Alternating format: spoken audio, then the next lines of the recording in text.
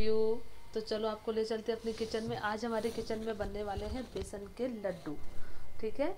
तो चलिए शुरू करते हैं। इसको कैसे बनाते हैं आपको बताते हैं। सबसे पहले हम आपको दिखाएँगे, यहाँ पर लिया है हमने बेसन। ये आधा किलो है। इसमें पड़ते हैं ड्राई फ्रूट जो आप जितने ले सकते हैं, आप उतने ले सकते हैं। ये आधा किलो बेसन है। इसमें लगभग पच्चीस लड्डू तैयार होंगे। और बेसन में आधा किलो बेसन में, आधा किलो हमने ये मिश्री यूज़ की है। मिश्री यूज़ इसलिए की है क्योंकि डायबिटिक जो पेशेंट होते हैं, उसमें भी ये लड्डू को यूज़ कर सकते हैं, लड्डू को खा सकते हैं। और मिश्री से कोई मतलब डायबिटीज़ जो होती है, वो नहीं बढ़ती, ये अच्छी होती है सेहत के लिए। आप चाहें तो चीनी भी ले सकते हैं या पाउडर फॉर्म में जो बूरा मिलता है, बूरे को भी ले सकते हैं, वो भी मीठा होता है। और इसमें ड्राई फ्रूट है, ये आधा किलो हमने बादाम लिए हैं काजू लिए हैं, चिरौंजी ली है, पिस्ता लिया है। आप चाहे अगर और भी मेवा यूज़ कर सकते हैं तो आप कर सकते हो। ठीक है? लगभग 25 लड्डू के लिए ये क्वांटिटी हम तैयार कर रहे हैं। ठीक है? और इसमें पड़ता है मिल्क पाउडर आप सोच रहे हैं मिल्क पाउडर की, क्योंकि ये थोड़ा अलग टाइप से बनने वाले हैं, ये और भी ज़्यादा टेस्टी लगेंगे तो आपको बताएँगे मिल्क पाउडर भी इसमें ऐड करते हैं तो इसका टेस्ट कैसा होगा और ये कैसे बनेंगे? तो चलिए शुरू करते हैं रेसिपी ओके लेकिन इससे पहले आपको क्या करना होगा, ये जो ड्राई फ्रूट है, इसको आपको हल्का हल्का घी में दो से तीन मिनट के लिए भूनना होता है। जिससे थोड़े से क्रिस्पी क्रिस्पी हो जाएँगे और टेस्ट इसका बहुत ज़्यादा बढ़ जाएगा। तो चलिए शुरू करते हैं इनको भूनना। ये हमने कढ़ाई गर्म करने रखी और इसमें डाला है लगभग एक चमची घी। बस ज़्यादा नहीं डालना है। इसमें ड्राई फ्रूट डाल के बस ड्राई फ्रूट को उसमें हल्का सा भून लेंगे। उसके बाद उसको मिक्सी में डालकर ग्राइंड कर लेंगे। जो मेवा है, वो पूरी तरह से पाउडर फॉर्म नहीं करना है। उसको हल्का सा अद दला करके ही रखना है, जो कि लड्डू में जब उसको खाते हैं तो एक अच्छा सा टेस्ट आता है। तो आपको भी बिल्कुल वैसे ही पीसना आपको दिखा देंगे आपको किस तरीके का पीसना है, ठीक है? तो पहले हम इसको भूनेंगे। तो चलिए अब डालते हैं इसमें मेवा। ये सारी मेवा इसमें डालेंगे। और इसको हल्का हल्का सा भून लेंगे दो से तीन मिनट के लिए, ठीक है? अब इसको हल्का हल्का भूनेंगे। और हल्का सा करारा कर लेंगे। उसके बाद जब ये भुन जाएँगे तो इसको मिक्सी में डालकर, जो जार होता है उसमें डालकर हल्का सा ग्राइंड कर लेंगे और इसको लगभग अदाला करके तैयार कर लेंगे, जिससे कि ये मेवे में डाला जा सके मेवा बेसन के लड्डू में डाला जा सके, ओके? अगर आपको घी पसंद नहीं है तो आप ऐसा कीजिए कि अगर आप घी पसंद नहीं है तो आप इसे बिना घी के भी भून सकते हैं।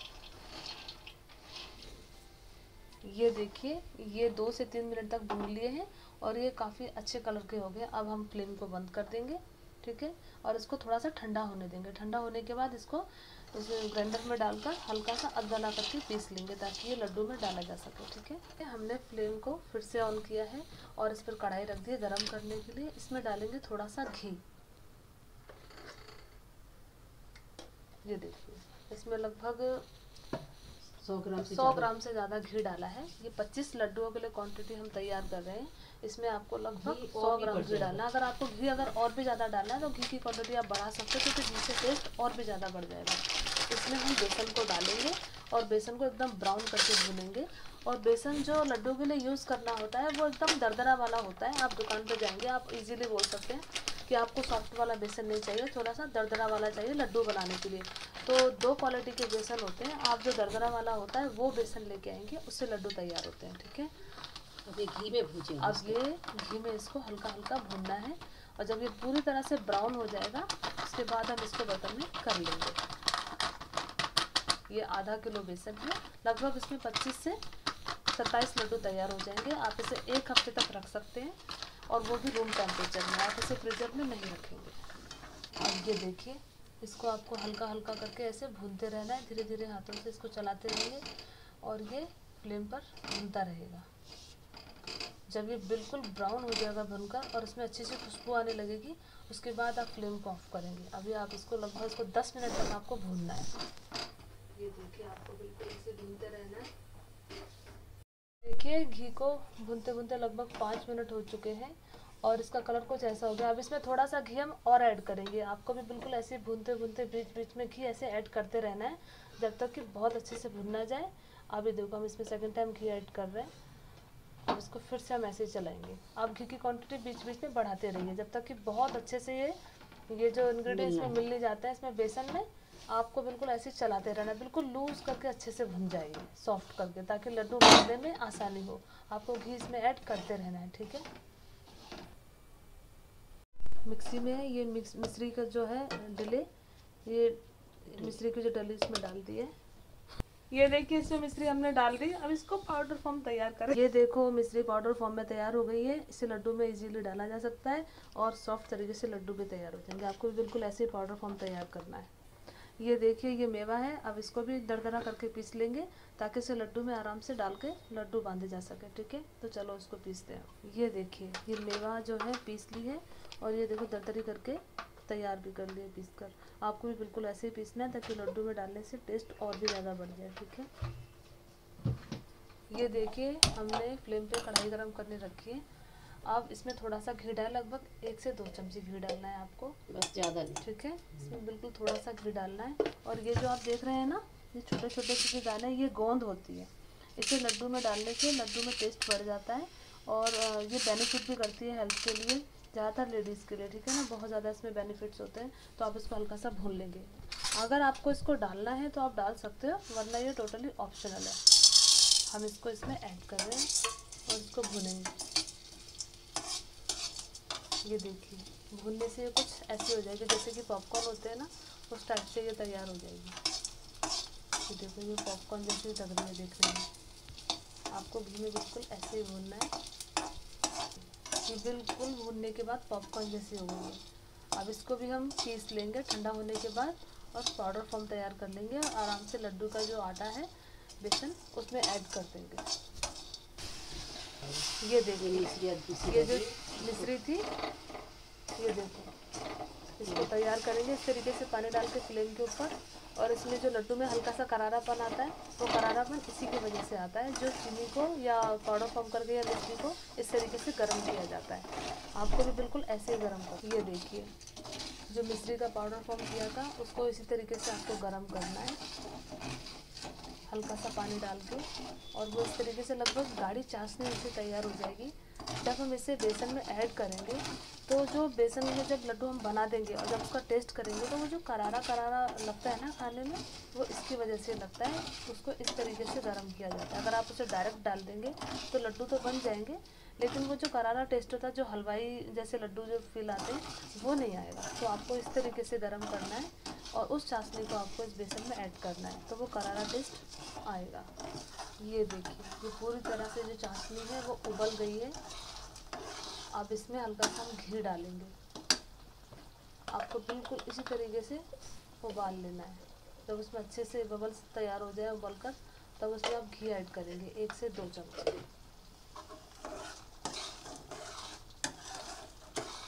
ये देखिए। कितना सुंदर टेक्सचर तैयार हुआ है। इससे लड्डुओं में एकदम करारापन आ जाता है और लड्डू और भी ज़्यादा टेस्टी लगता है। अब हम फ्लेम को बंद कर देंगे, इसको हल्का सा ठंडा होने के लिए, क्योंकि ठंडा होने के बाद इसे बेसन में ऐड कर देंगे। ये देखिए, अब गोंद जो है, जो हमने भून ली थी, उसको भी हम पीस लेंगे पाउडर फॉर्म में, ठीक है? जब तक हमने सारे मेवा पीसे और मिश्री को पाउडर फॉर्म किया तब तक इसको भूनते भूनते देखो ये टाइम भी हो गया, ठीक है? ये भून गया है और इसमें भी बहुत अच्छी खुशबू आने लगी। बेसन के देखो कितने प्यारे से कलर में। इसमें हल्का सा पानी डालेंगे, बेसन तैयार हो गया। देखो, आपको बिल्कुल इतना थोड़ा थोड़ा करके पानी डालना है और उसको अच्छे से चलाना है। ये देखो।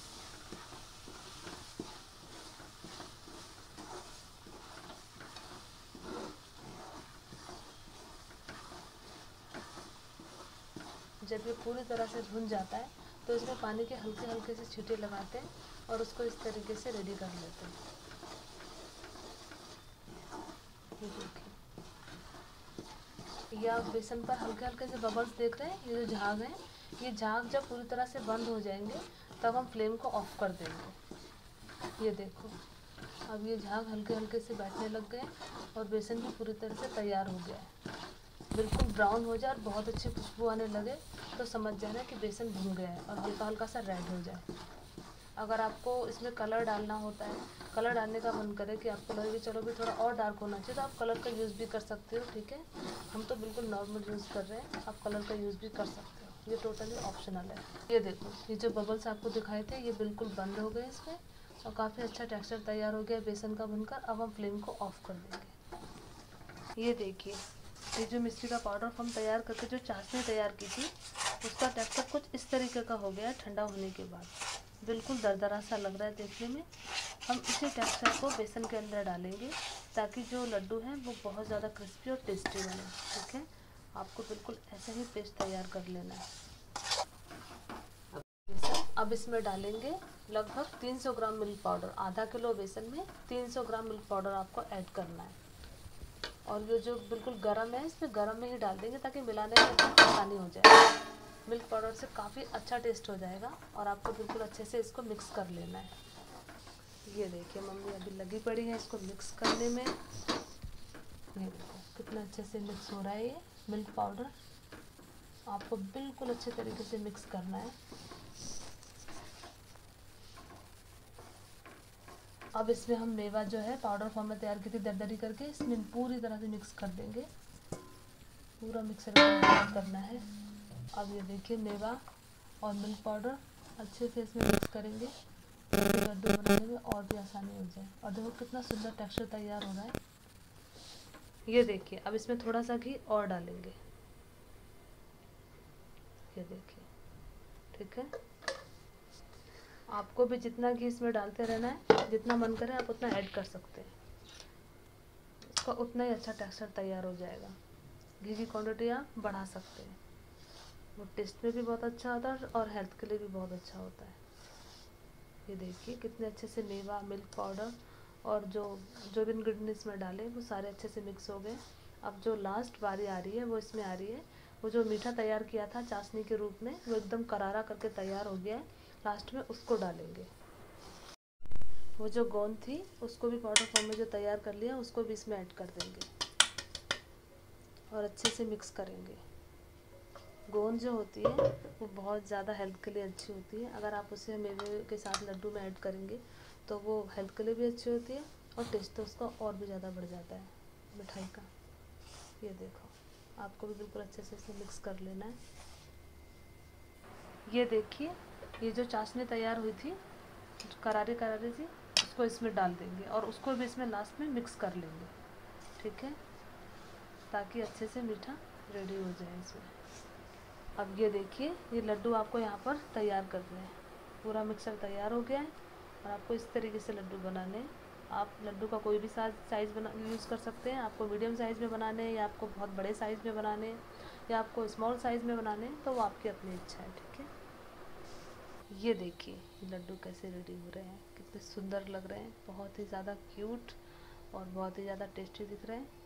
जैसे बन जाएँगे, बस हम तो शुरू होने वाले हैं। लेकिन शुरू होने से पहले आप पता क्या करेंगे? आप पहले भोग लगाना मंदिर में, क्योंकि भोग लगाने के बाद इनका टेस्ट और भी ज़्यादा बढ़ जाएगा, ठीक है ना? मैंने लड्डू बना लिए हैं और मैं अपने कान्हा जी को भोग लगाऊँगी, आप भी लगाना ये देखो भाई कितनी सुंदर लुक लग रहा है इनका। बहुत ही प्यारा लुक लग रहा है। जैसे बन जाएँगे भोग लगाने के बाद, बस सीधा हमारे पेट में जाने वाले हैं। क्योंकि अब इनको देख कर रुका भी नहीं जा रहा है। आप भी प्लीज़ बनाना और आपको ये कैसे लग रहे हैं कमेंट बॉक्स में प्लीज़ बताइए और आप भी अपने घर में ज़रूर बनाइए। ये रेडी हो चुके हैं लड्डू और ये कितने खूबसूरत लग रहे हैं। इनको देखकर बस ऐसा लग रहा है कि बस अभी शुरू हो जाओ और आप भी इस रेसिपी को अपने घर में बनाइए। लड्डू बहुत ज़्यादा हेल्दी हैं। और इसके, इसमें जो इंग्रेडिएंट पड़े हुए हैं, वो बहुत ज़्यादा टेस्टी हैं और हाइजीनिक हैं। आप भी घर में इस तरीके से मिठाई बना सकते हैं। और ये बेसन के लड्डू आप एक हफ़्ते तक अपने घर में स्टोर करके रख सकते हैं या दस दिन तक भी रख सकते हैं, लेकिन इसे फ्रीज़र में ना रखें। इसे बाहर ही रखें रूम टेम्परेचर में। ये बहुत ही ज़्यादा टेस्टी रेसिपी है। आप अपने घर में बनाइए, खाइए और एंजॉय कीजिए। ठीक है? आप इस लड्डू को बड़े मज़े से खाइए, अपने घर में बनाइए। ठीक है? अब मिलते हैं आपको अगली रेसिपी में। राधे राधे।